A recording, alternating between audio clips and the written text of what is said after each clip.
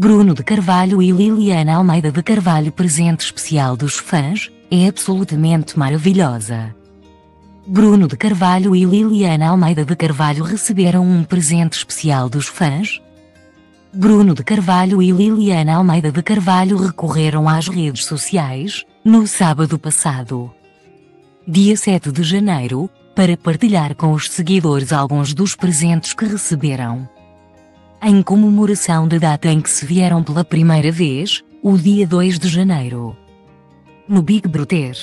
Um dos presentes foi uma moldura com as duas capas de duas músicas da artista. E outro uma fotografia do casal. Não existem melhores fãs no mundo. Os vossos amor e carinho não têm preço. Esta prenda de um ano é absolutamente maravilhosa. O nosso agradecimento e gratidão a todos, por mais este momento único. Somos muito gratos por vos ter ao nosso lado, escreveram na legenda.